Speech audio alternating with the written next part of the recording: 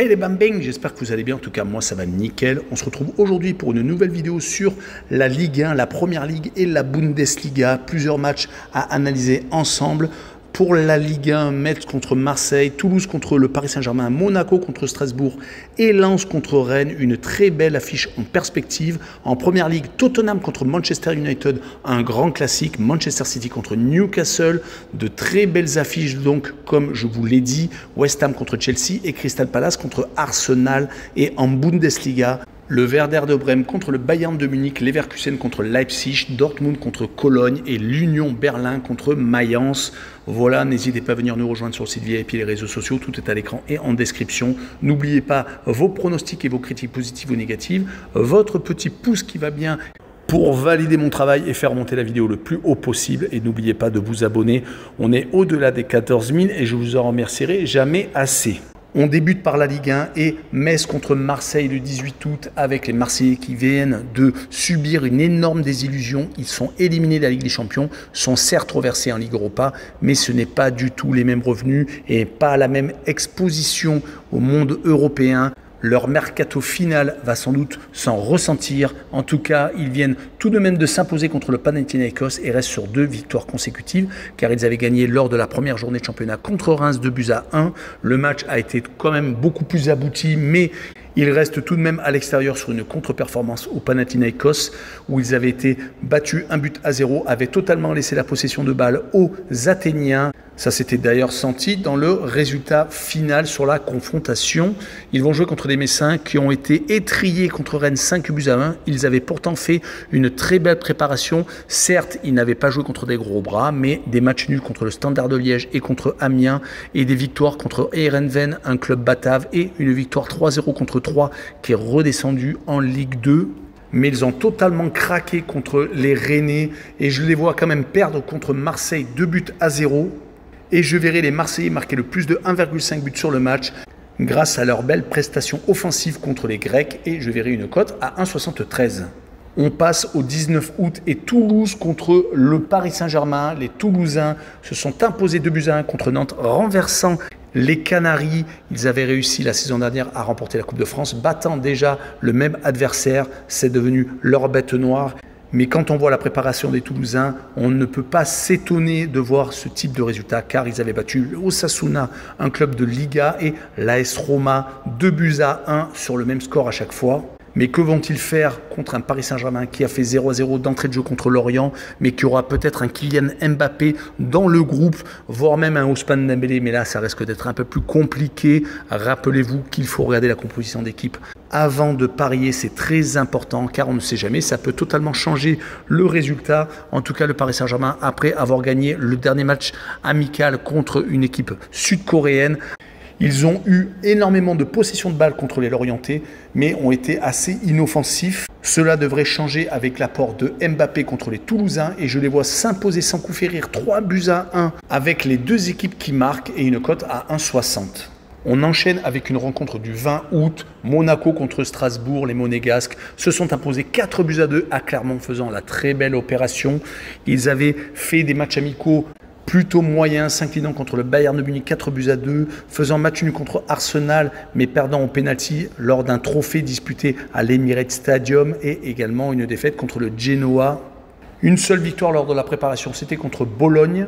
On peut dire que les adversaires leur ont montré qu'il y avait encore du travail à faire. En tout cas, à Clermont, ils ont montré qu'ils avaient retenu la leçon et ils vont jouer contre Strasbourg qui a battu d'entrée de jeu Lyon, qui a fait une préparation également très intéressante, accrochant Fribourg, une équipe du top 5 allemand et accrochant également à son tableau de chasse le Werder de Brême. En tout cas, contre les Lyonnais, ils ont gagné 2 buts à 1, mené même 2 buts à 0.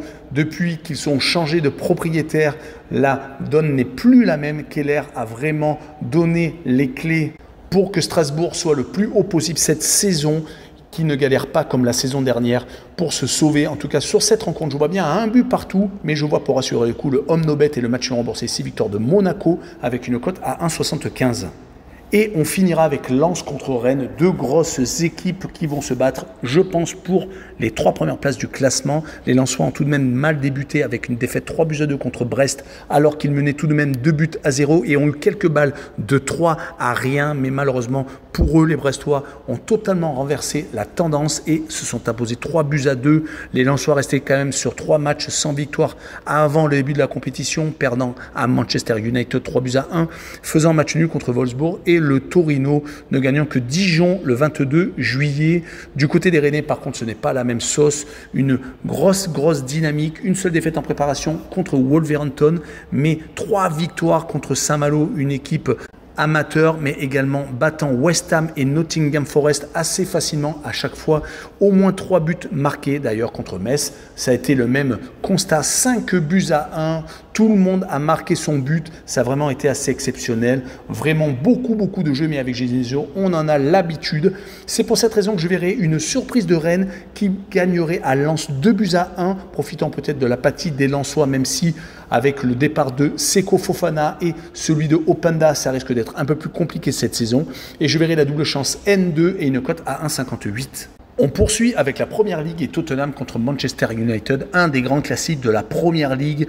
Les Hotspurs ont commencé par un match nul à Brentford de partout. Rappelons qu'ils ont perdu Harry Kane parti au Bayern de Munich. Ça va être compliqué pour eux cette saison. Même s'ils ont une ligne d'attaque loin d'être ridicule, mais le début partout posent plusieurs questions, ils prennent toujours autant de buts. Les quatre buts encaissés contre Barcelone juste avant le début de la compétition montrent que c'est très compliqué suivant l'opposition en face. Et là, ils vont jouer contre Manchester United qui a gagné un but à zéro contre Wolverhampton d'entrée de jeu. Mais le contenu a été assez compliqué. Il a fallu lutter jusqu'au bout avec un but de Varane pour s'imposer. On peut rappeler qu'ils ont fait une préparation où il y a eu quelques victoires contre Lens, Leeds et contre Lyon, également contre Arsenal, mais c'était en début de préparation. Et ils se sont inclinés contre le Real de Madrid, contre Dortmund, et ont fait match nul contre l'Athletic Bilbao pour être vraiment complet. Sur cette rencontre, je verrai bien deux buts partout, et je verrai le away no bet et le match non remboursé, 6 victoires de Manchester United à l'extérieur, et une cote à 2-13. La deuxième rencontre du 19 août est Manchester City contre Newcastle. Le champion en titre vient de s'imposer lors de la Supercoupe de l'UEFA contre le FC Séville, mais ils ont eu énormément de mal. Rappelons qu'ils ont perdu De Bruyne jusqu'à au moins 2024, que le départ de Gundogan n'a pour l'instant peut-être pas été remplacé. En tout cas, un joueur sort du lot, c'est Palmer, qui avait été prêté la saison dernière et qui vient de marquer son second but après celui mis contre Arsenal lors du Community Shield. En tout cas, il devient de plus en plus important pour l'effectif de Guardiola. Il sera au moins dans la rotation. On rappelle que lors de la première rencontre de Première Ligue, Manchester City s'est imposé 3 buts à 0 à Burnley. Ils ont donc remporté un titre et en ont perdu un. Ils vont essayer de remporter ce duel au sommet contre Newcastle qui a démarré en trombe avec cette victoire 5 buts à 1 contre Aston Villa qu'on voyait quand même beaucoup mieux, mais il n'y a pas eu photo sur la rencontre. Newcastle avait fait une superbe fin de préparation avec un match nul contre Chelsea, une victoire contre Brighton et deux autres succès contre la Fiorentina et Villarreal, un 4 à 0 même contre le sous-marin jaune.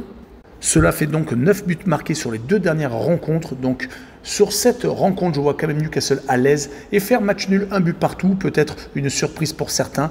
Et je verrai Newcastle marquer le plus de 1 but sur le match et une cote à 2-10. La rencontre suivante est le 20 août, West Ham contre Chelsea, une belle opposition également en perspective. West Ham a commencé par un match nul à Bournemouth, mais il restait sur trois matchs amicaux sans victoire avec un match nul contre une équipe amateur et deux défaites contre Rennes 3 buts à 1 et 4 à 0 contre le Bayer Leverkusen, un peu plus inquiétant. Surtout que Chelsea se présente devant eux. Il y a eu beaucoup de changements de joueurs chez les Blues. Il y a eu des départs et bien entendu des arrivées avec euh, quand même beaucoup de Français dans les lignes arrières. Dizazi, arrivant de Monaco, a déjà fait ses preuves. Il vient d'égaliser contre Liverpool après un, un but partout, plein de promesses lors de la préparation. Ils avaient gagné un tournoi d'été avec des victoires contre Brighton et contre Fulham, un match nul contre Newcastle et un autre match nul contre le Borussia Dortmund. Sur cette rencontre, je vois bien Chelsea s'imposer à West Ham 2 buts à 1 et je verrai les deux équipes marquées avec une cote à 1,79.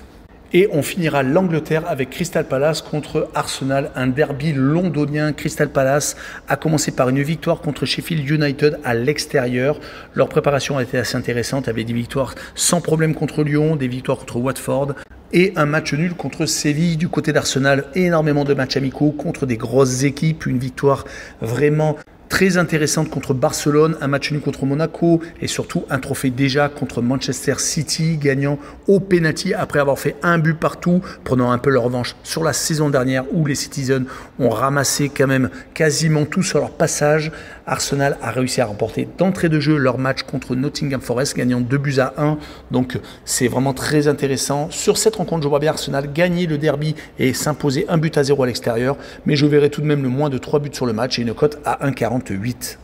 Et on finira par le dernier championnat, la Bundesliga, avec la première rencontre, le Werder de Brême contre le Bayern de Munich. La rencontre est le 18 août avec le Bayern qui vient de récupérer un des meilleurs attaquants du monde, Harry Kane, qui est venu de Tottenham pour 110 millions d'euros, mais ça a très mal commencé pour le Bayern, même si Kane ne jouait pas avec une défaite 3 buts à 0 contre Leipzig lors de la Super Coupe d'Allemagne.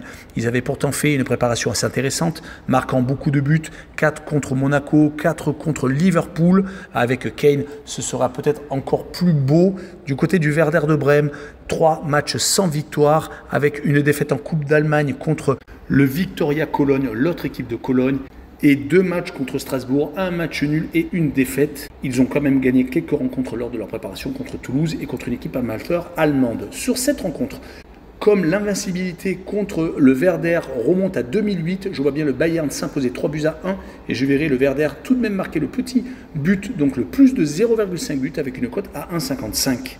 On passe à la rencontre du 19 août entre le Bayer Leverkusen et Leipzig, deux outsiders de ce championnat, avec le Bayer Leverkusen qui, sur les trois derniers matchs, a marqué 14 buts, toutes compétitions confondues, avec une victoire en Coupe d'Allemagne assez facile contre un club amateur et deux victoires, une au Vélodrome contre Marseille de buts à 1 et contre West Ham 4 à 0, assez facile.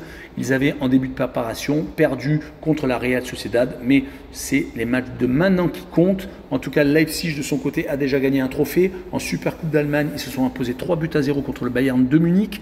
C'est vraiment assez incroyable ce type de score contre les Munichois. Ils avaient fait une préparation ultra intéressante, s'imposant contre des équipes de moindre niveau, mais marquant beaucoup de buts. C'est peut-être pour cette raison qu'ils en ont mis 3 au Bayern. En tout cas, sur cette rencontre, je vois bien Leipzig s'imposer 2 buts à 1 à Leverkusen et je verrai la double chance N2 et une cote à 1,55. Je rappellerai également qu'il y a eu énormément de transferts du côté de Leipzig avec Openda en tête et quelques autres joueurs français comme Lukeba. La rencontre suivante est Dortmund contre Cologne. Dortmund a loupé le titre à la dernière journée, n'arrivant pas à battre son adversaire qu'il réceptionnait. Malheureusement pour eux, Dortmund a une fois de plus perdu un titre au dernier moment. Lors de leur préparation pour cette saison, ils ont fait vraiment du lourd avec des victoires contre Manchester United, contre l'Ajax Amsterdam et un match nul contre Chelsea.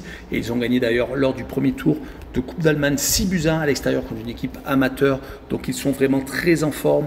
Et ils vont jouer contre Cologne, qui a été la révélation en début de saison dernière, mais qui est rentré un peu dans le rang qui a fait un parcours assez honorable en Coupe d'Europe, tombant par exemple dans le groupe de Nice sur cette préparation très intéressante deux matchs nuls et deux victoires contre des équipes espagnoles et également contre Nantes. Ils viennent de faire leur tour de Coupe d'Allemagne et se sont imposés de justesse 3 buts à 1 contre un autre club amateur. Mon pronostic sera tout de même une victoire de Dortmund 3 buts à 1 et je verrai Dortmund marquer le plus de 2 buts sur le match et une cote à 1,61. Et on finira avec une rencontre du 20 août, l'Union Berlin contre Mayence. L'Union Berlin fait cette saison la Ligue des Champions. Ils ont réussi à finir dans le top 4 la saison dernière. Ils ont vraiment été très intéressants. Ils ont d'ailleurs, lors de la préparation, continué sur la même dynamique, réussissant à battre l'Atalanta de Bergame, l'Udinese et le Rapide de Vienne, ne perdant qu'une seule fois, mais ils avaient dû faire sans doute tourner. Ils ont gagné assez facilement leur tour de Coupe d'Allemagne, 4 à 0 à l'extérieur. Et ils vont jouer contre une équipe de Mayence qui est un peu le poil à gratter en championnat d'Allemagne, qui a toujours tendance à faire quelques résultats en déplacement, voire même battre le Bayern de Munich à la maison, avec, rappelons-le, un ancien joueur du Racing Club de Strasbourg, Ludovic Ayork. En tout cas, lors de leur préparation, deux victoires lors des deux derniers matchs contre Saint-Gall, une équipe suisse et une équipe amateur, et également une victoire lors du dernier tour de Coupe d'Allemagne, mais 1 à 0 seulement à l'extérieur, ça a été un peu plus compliqué. Et sur cette rencontre, je verrai bien l'Union Berlin s'imposer 2 buts à 1 et je verrai le draw no bet et le pari remboursé ici match nul avec une cote à 1,42. Voilà, on en a fini avec cette vidéo un peu plus longue que les autres, mais n'hésitez pas à venir nous rejoindre. Ciao les bambins